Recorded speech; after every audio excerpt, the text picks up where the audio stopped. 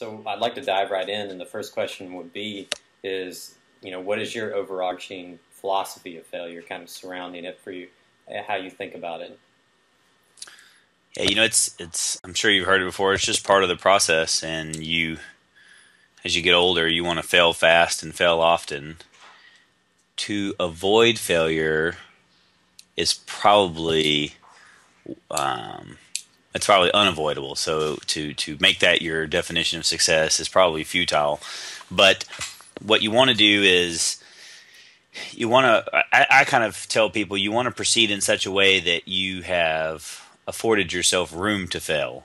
Um, and so some people call this contingency plan. Some people, you know, call this uh, just being kind of having a forethought in the entire process. But what it really comes down to is is that it's going to happen, and it's either going to be very minor ones or it's going to be um, some middle large ones, or it could be one huge catastrophic one. And what I often say is try to make your successes small by definition, and that way you can keep your failures small by definition.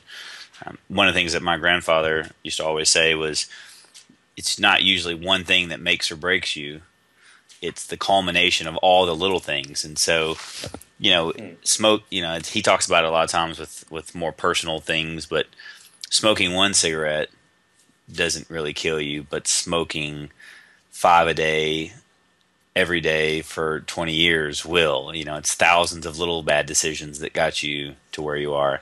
The same thing goes with working out. You don't go work out one time and you know all of a sudden you're the epitome of health. It's the day in and day outs that you go work out, that you eat healthy that brings you there. And so it's really no different in the business model. It's usually not losing one sale that yeah. breaks you.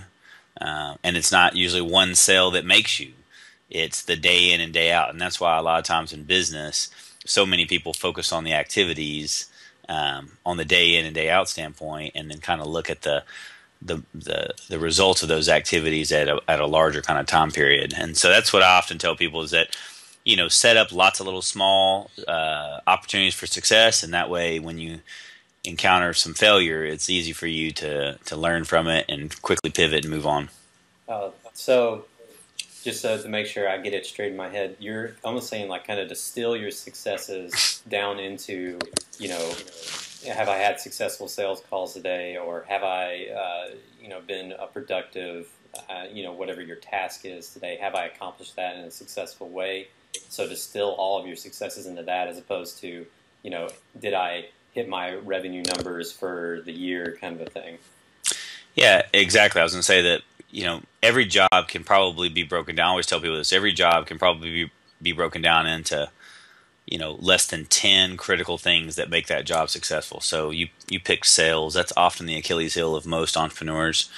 Um, you can't define success as I'll sell three things this week. It just doesn't work that way. Um, so what you have to do is define the path that gets you to the larger success. And so you break it down into many successes. And a lot of people do this kind of uh, intuitively. It's kind of like what I would tell entrepreneurs when you go home and you feel like you really did a phenomenal job that day. Well, think about why you feel that way and try to repeat that versus the days where you feel like you were just running under the wringer. And those are the days that you might count as to being the little failures. So with most sales, what it comes down to is it's easy for me to pinpoint when someone has a broken sales model. Literally, the first question is is that well, how many calls slash touches were you supposed to do in your kind of you know daily outline? And you'll hear people either say, I didn't set up any. Well, then they never really even had a path for plan or a, a plan for success or failure. That was just a lack of planning. Mm-hmm. So then they'll tell you they're supposed to do 10, but they'll tell you that something else got in the way that day. Well, then what you can do is you it's not hard to define that you failed at making your calls for the day.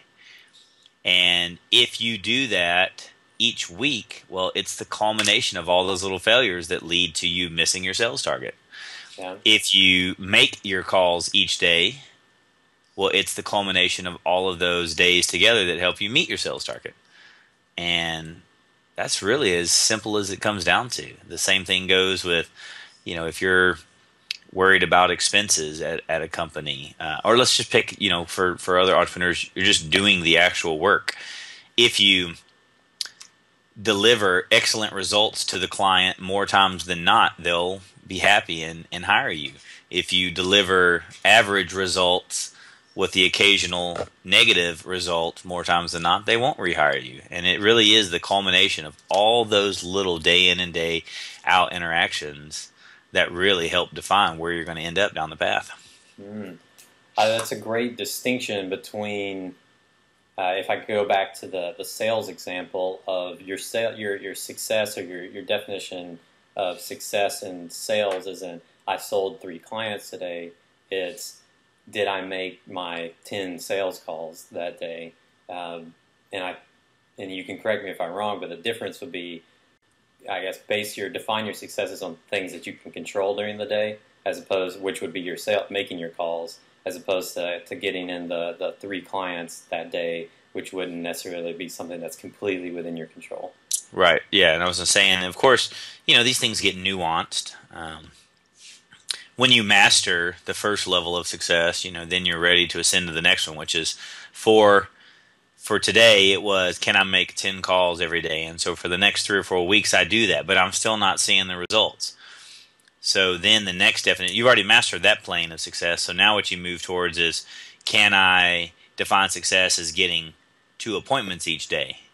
So now if there's a gap in that next level of success, you can really analyze why that's happening. And so it could come down to, you know, if you if you think about it, I see this all the time. The first thing you want to get people doing is activity. The next thing you want to do is get them to measure the quality of the activity. The next thing you want them to do is move higher up the plane. So I don't need to tell people each day to breathe. They already do that.